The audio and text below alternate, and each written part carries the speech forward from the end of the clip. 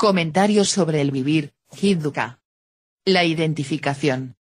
¿Por qué os identificáis con otra persona, con un grupo, con un país? ¿Por qué os llamáis cristianos, hindúes, budistas, o por qué pertenecéis a alguna de las innumerables sectas?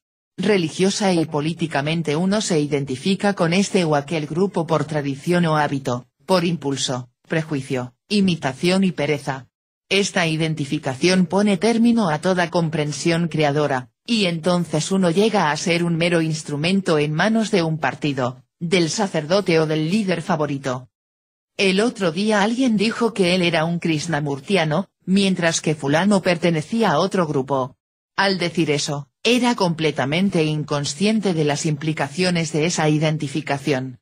No se trataba en modo alguno de un tonto, era instruido, culto y todo lo demás. Ni era tampoco sentimental o impresionable, por el contrario, era claro y definido. Porque había llegado a ser un Krishnamurtiano, había seguido a otros, había pertenecido a fastidiosos grupos y organizaciones, y finalmente se encontró identificado con esta particular persona. Por lo que decía, parecía que su viaje había ya concluido. Había tomado una posición y eso era el fin de la cuestión, había elegido y nada podía hacerlo vacilar. Ahora podía confortablemente recogerse y seguir afanosamente todo lo que se había dicho y lo que se diría. Cuando nos identificamos con otro, ¿es eso un indicio de amor? ¿La identificación implica experimentación? ¿No pone la identificación término al amor y al experimento? La identificación, ciertamente, es posesión, la aserción de propiedad, y la propiedad niega el amor, ¿no es así? Poseer es estar seguro, la posesión es defensa, es hacerse invulnerable. En la identificación hay resistencia, ya sea grosera o sutil, ¿y es el amor una forma de resistencia autoprotectora? ¿Hay amor cuando hay defensa? El amor es vulnerable, flexible, receptivo, es la más alta forma de sensibilidad, y la identificación conduce a la insensibilidad. Identificación y amor no pueden ir juntos, pues el uno destruye al otro. La identificación es esencialmente un proceso de pensamiento por medio del cual la mente se protege y expande, y en el llegar a ser algo ella necesita resistir y defender, necesita poseer y descartar. En este proceso de devenir, la mente o el yo se hace cada vez más tenaz y más capaz, pero esto no es amor. La identificación destruye la libertad, y únicamente en la libertad puede existir la más alta forma de sensibilidad. ¿Debe haber identificación para experimentar? El mismo acto de la identificación, no pone término al inquirir, al descubrir. La felicidad que brinda la verdad no puede existir si no hay experimentación en el autodescubrimiento.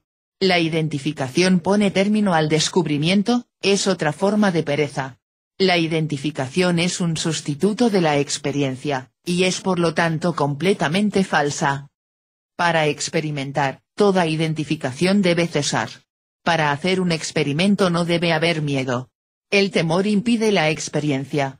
Es el miedo que conduce a la identificación identificación con otro, con un grupo, con una ideología, etc.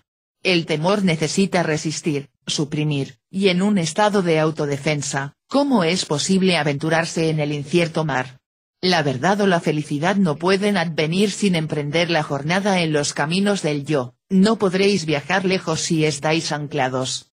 La identificación es un refugio. Un refugio requiere protección, y aquello que es protegido pronto es destruido. La identificación acarrea su propia destrucción, y de ahí el constante conflicto entre las diversas identificaciones. Cuanto más luchamos a favor o en contra de la identificación, tanto mayor es la resistencia a la comprensión.